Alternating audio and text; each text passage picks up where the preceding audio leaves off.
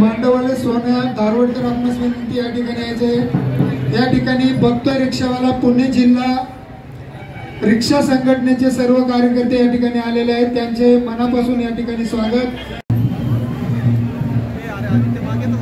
दोन मिनिटं थांब ना भाऊ.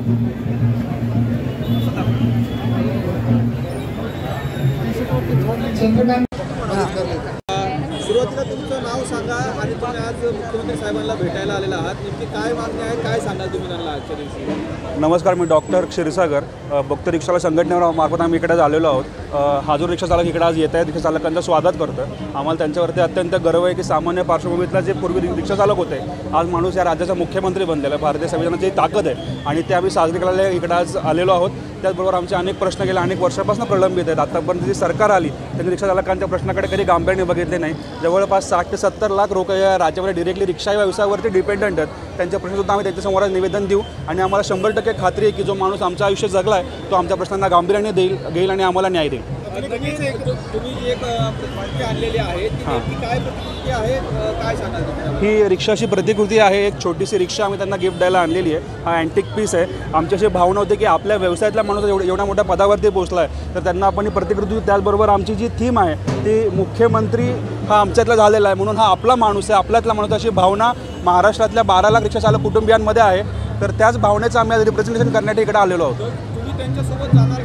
जाणार आहात का? संघटना विलीन वगैरे असं काय? संघटना विलीन वगैरे आम्ही आमचं पोट आहे आणि आम- आमचा व्यवसाय याच्यावरनं चालतो. आम्हाला राजकारण कळत नाही आम्हाला राजकारण करायचं नाही.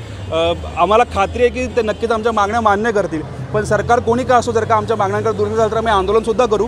पण निश्चितच आमच्यातला माणूस आहे आणि आम्हाला शंभर टक्के खात्री आहे की ते आमच्या मागण्यांकडे बघतीलच. प्रमुख दोन मागण्या सांगाल का ज्या ज्या आहेत बेकायदा बाईक टॅक्सीचा सुळसुळाट या राज्यामध्ये झालेला आहे. त्यासाठी आम्ही खूप मोठी मोठी आंदोलनं केली. अजितदादांनी नुसते आश्वासनं दिली पण पुढे कुठली कारवाई केली नाही. त्याचा आम्ही निषेधसुद्धा केला. तर बेकायदा बाईक टॅक्सी बंद होते आणि सत्तर टक्के उत्पन्न आमचं खाल्लं. आहे सी एन जीचा रेट दररोज खूप वाढतो आहे जे लोनच्या कंपन्या आहेत बजाज फायनान्स करते फायनान्स कंपन्यांची गुंडागर्दी वाढते. अशी वीस एक मागण्यांची लि लिस्ट आहे. वेलफेअर बोर्ड क आमचं स्थापना व कल्याणकारी मंडळ.